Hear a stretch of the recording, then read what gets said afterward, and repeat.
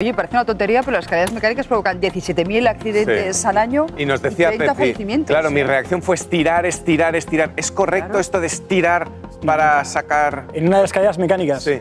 Normalmente ya sabéis que las escaleras mecánicas llevan ese cepillo. ¿Lo habéis visto alguna vez? Sí. Que la gente se cree que es para limpiarse los zapatos. El de los laterales. Claro, ese cepillo lo que hace es cubrir una zona peligrosísima, sobre todo en niños. De hecho, yo hice un vídeo en el que aparecía el zueco de un niño, lo metían y aplasta totalmente el pie.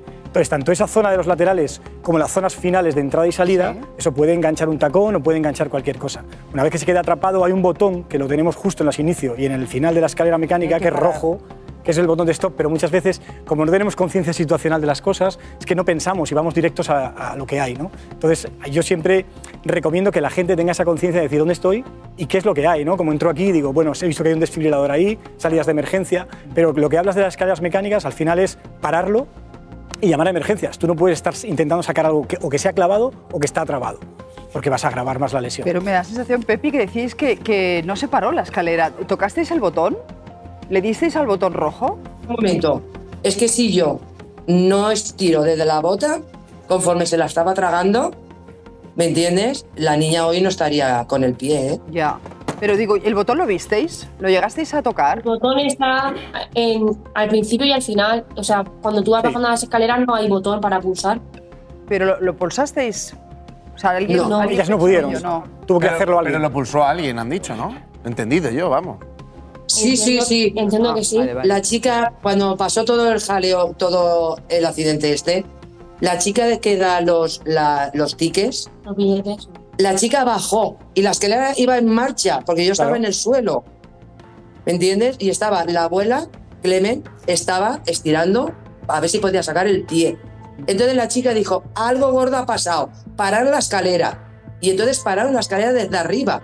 Vale. Bien. Bueno, pues sí, pues entonces hicieron lo que estabas ¿Me diciendo. Sí, sí, es lo mismo. De hecho, esa foto, esa foto indica prácticamente lo que os he dicho. No hay cepillo, parece que no hay. O sí, hay, sí Sí. está justo encima. Sí, está pero hay zonas en las que puedes aplastar el cepillo. Ese cepillo está para evitar que tú puedas introducir ahí, sobre todo un niño, o una mano, o un pie, o cualquier cosa. Pero tiene que haber un informe de riesgos laborales. Si eso es peligroso, tiene que aparecer en el informe y tiene que retirarse. Sí, por supuesto. Pues entonces el responsable es el señor que hace el informe de riesgos laborales. supuesto. Y que continúe eso ahí. Eso es el tema, claro. Es que ese cepillo tan blando, lo que digo yo, ¿no? que es una forma de cubrir, la gente no tiene conciencia realmente de lo que es. Nadie nos explica qué es realmente eso. Por eso. Claro. Si hay un niño, yo siempre digo, y siempre lo he dicho en mis vídeos, lo digo, el niño nunca puede ir en un lateral de la escalera mecánica. Eso es una de las normas. O sea, el niño tiene que ir en el centro.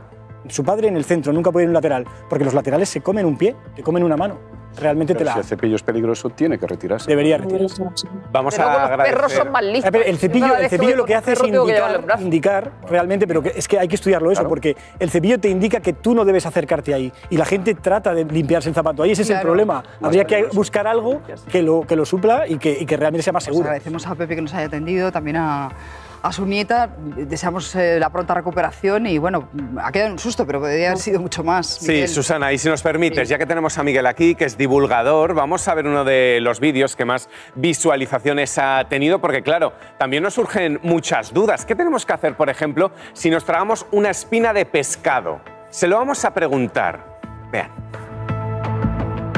Estás comiendo y se te acaba de clavar una espina de pescado en la garganta. Lo primero, calma. Pincha, pero no obstruye. Puedes respirar. Tose, pero no de forma violenta. Si no se resuelve, prueba a beber agua. Y si no funciona con esto, llena una cuchara con aceite de oliva. Inmediatamente tose. Verás que al ser más viscoso y lubricar, puede liberar la espina. Y si no, debes buscar alimentos viscosos, nunca sólidos. Los alimentos sólidos o muy secos pueden incrustarla aún más. Debes conseguir esta textura. No le des palmadas en la espalda, ni le hagas la maniobra de Heimlich. Y ni se te ocurra meter unas pinzas para intentar sacar algo que no ves. Si con todo esto no has conseguido extraerla, te toca ir al hospital. Guau, esto, en fin, no, no sé si os habéis visto en esta situación. Oye, ¿eh? los espárragos son buenos, ¿no? que le Sí, el espárrago puede ser. De hecho, susto. de hecho, todo lo que sean sustancias como gelatinosas, que al final es el, el plátano, que lo consigas eh, aplastar de Pero el manera que espárrago por las fibras. es- Sí, puede hacer que alcance la, la espina y la pueda arrastrar. ¿Y el pan? Claro, el pan, ese es el tema que se lo estaba, habla- estaba hablando, porque dices, el pan realmente, si el pan, la miga de pan seca, eso sigue siendo duro, eso va a a, a clavar más la espina. más. Entonces es importante que, oye, el pan sí, pero mojado. Moja el pan, le haces una pasta y para adentro. O sea que normalmente los remedios que ponemos no suelen ser los más adecuados, ¿no? Es que estamos llenos de mitos eh, que están erróneos, o sea que al final, y además que las cosas se van actualizando a medida que vamos viendo estudios en que esto va funcionando. ¿no? ¿Cuál es el más típico? El- eh, ¿Dices de mitos? Sí. Bueno, por ejemplo, el sangrado nasal, ¿no? De, de- de echar la cabeza hacia atrás, siempre nos han educado así.